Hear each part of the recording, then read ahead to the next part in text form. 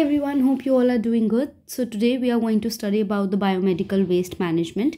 Now this topic is extremely important and so I have divided the whole topic on the basis of mnemonics.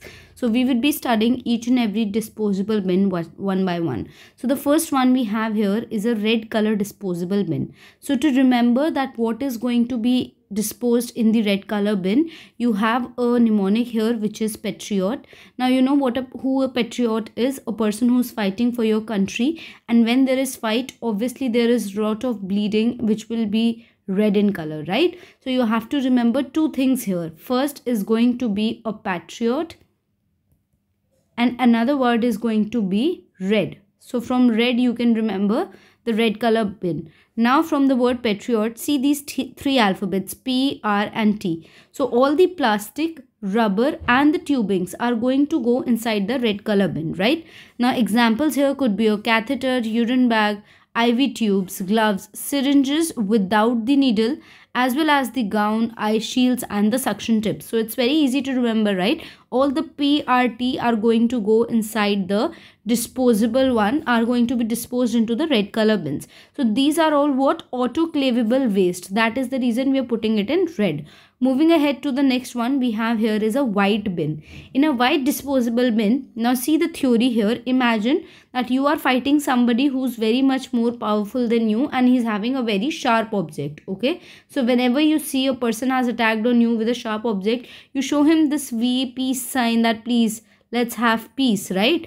And peace is always with the color white. So what two things you have to remember here? Sharp as well as peace which is white in color so that is how you're going to remember for the white one right what are the things which are going to be disposed in the white disposable bin now your needle the syringe needle you are going to dispose it here then the blade will be disposed here syringe with fixed needles wire, arch bar, burrs and endodontic instruments that are your files. So basically all the sharp type of objects are going to be disposed into the white disposable bin.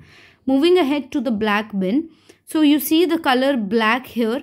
This black color is basically related to the ashes. Okay, remember burnt paper ashes.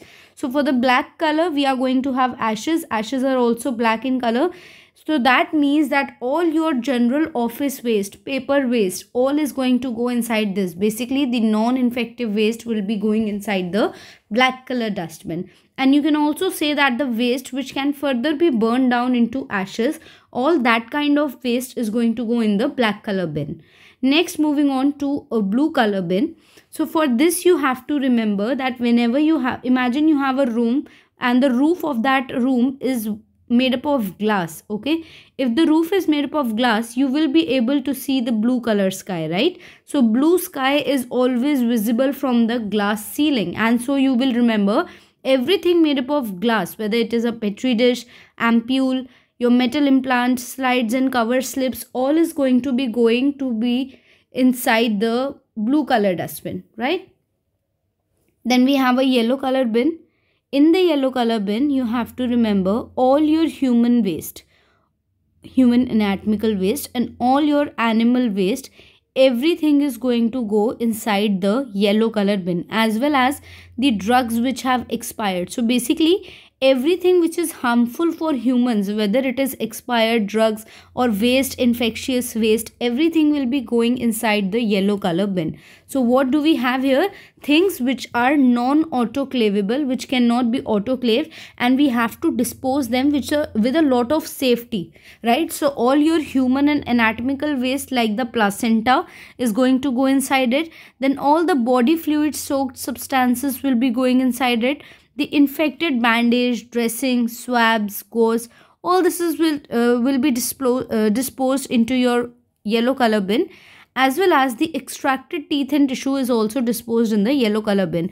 With this, very important to remember the cytotoxic drugs and the expired drugs will go inside. So this is the only special point you have to remember and you don't actually have to remember. Just remember one thing that everything harmful to humans, everything which is harmful to humans that will go inside the yellow color bins, right?